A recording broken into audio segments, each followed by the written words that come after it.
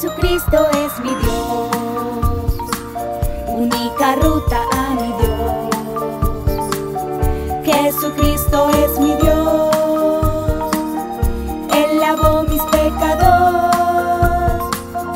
Jesucristo es mi Dios, tinieblas caen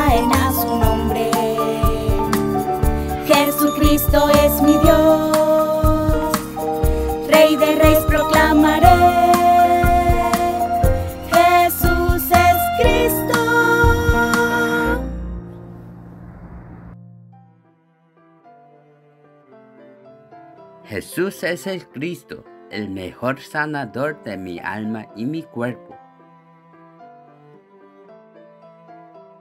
En ese momento estaba en la sinagoga de ellos un hombre con un espíritu inmundo, el cual comenzó a gritar, ¿Qué tienes que ver con nosotros, Jesús de Nazaret? Has venido a destruirnos. Yo sé quién tú eres, el Santo de Dios. Jesús lo reprendió diciendo, Cállate y sal de él. Entonces el espíritu inmundo, causándole confusiones al hombre, gritó a gran voz y salió de él. Marcos capítulo 1, versículo 23 a 26. Jesús llegó a la ciudad de Capernaum en Galilea.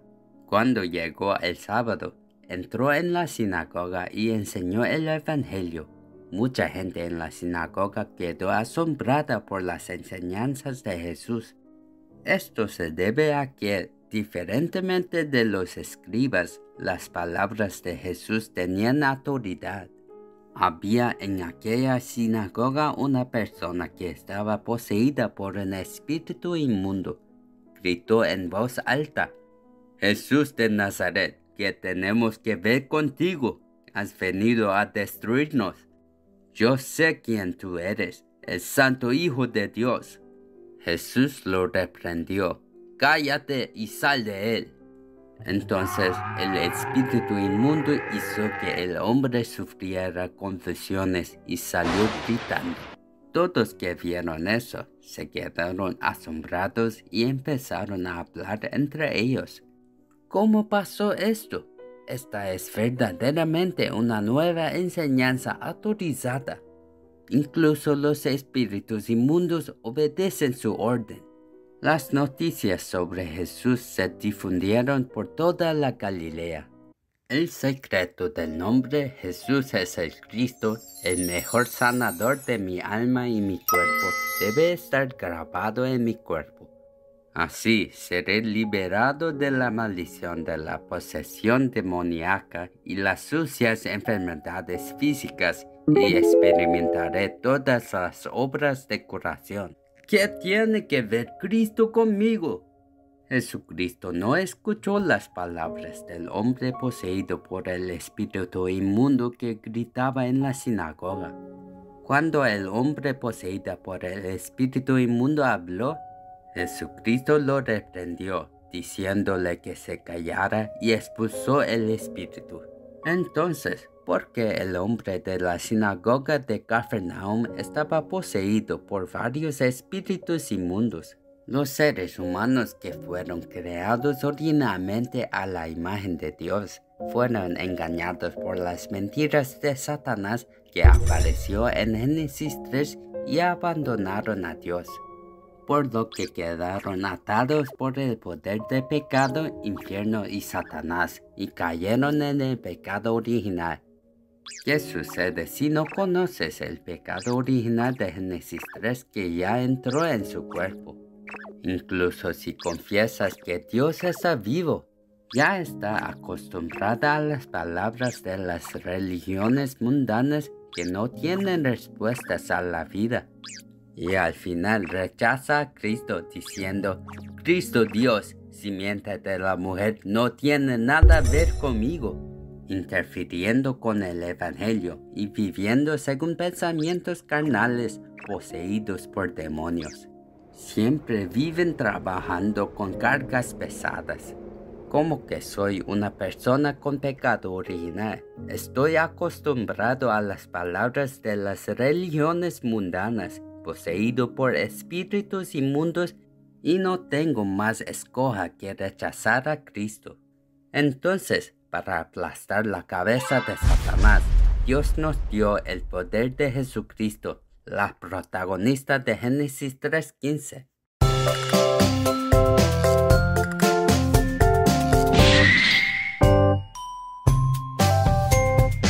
Génesis capítulo 3.15 La simiente de la mujer Jesucristo aplastó completamente la cabeza de Satanás. ¡Ya! Si no reconozco el pecado original en mi cuerpo, no reconoceré el Juan 10:10 que el diablo ya está en mi cuerpo, el que roba, mata y destruye mi espíritu. Dios de Génesis 3:15, Jesucristo, simiente de la mujer, también habló del pecado original en nuestros cuerpos. Naciste de tu padre el diablo, el mentiroso. Para resolver el problema del pecado original en nuestros cuerpos, la simiente de la mujer Jesucristo Dios tomó prestado el vientre de la mujer y vino a esta tierra. Pero, ¿por qué hoy en día la gente no acepta a Cristo y dice, Cristo no tiene nada que ver conmigo? es porque el pecado original ya está en su cuerpo. Por eso, primero debo reconocer el pecado original en mi cuerpo y a partir de hoy, en vez de decir Cristo no tiene nada que ver conmigo, debo aceptar al nombre Jesús es el Cristo. Satanás, que me destruyes para que no pueda recibir a Jesucristo, el Hijo de Dios, como mi verdadero Salvador y Maestro. Apártate de mi cuerpo en el nombre de Jesucristo. Jesús es el Cristo, soy un hijo de Dios. Todos los problemas acabaron.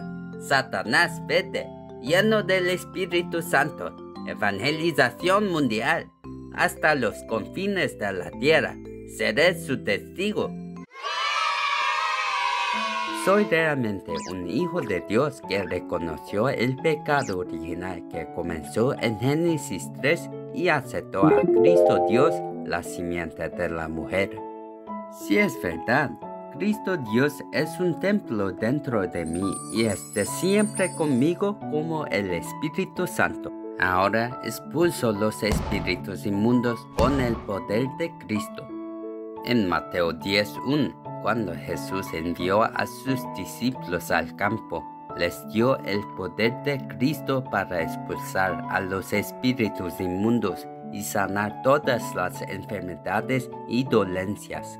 El poder de pecado, infierno, Satanás están en mi cuerpo como el pecado original.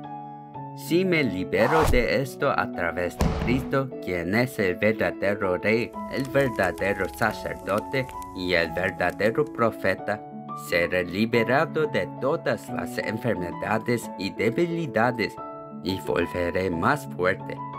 Esta semana debo reconocer el pecado original en mi cuerpo y acostumbrarme a la palabra de Dios a través de la adoración con la batalla espiritual continua de aplastar la cabeza de Satanás.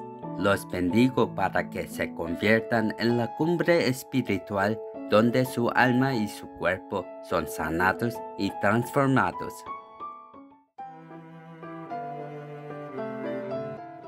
Dios Todopoderoso, a través de la adoración, reconozco el pecado original en mi cuerpo y acepto a Jesucristo, la simiente de la mujer, como mi Maestro. Gracias por darme la identidad y autoridad como su Hijo al hacerlo. Permítame convertirme en la cumbre espiritual de la evangelización mundial que obtenga la victoria sobre la batalla espiritual de aplastar la cabeza de Satanás con Jesucristo el mejor sanador de mi alma y mi cuerpo. Rezo en el nombre de Jesucristo. Amén.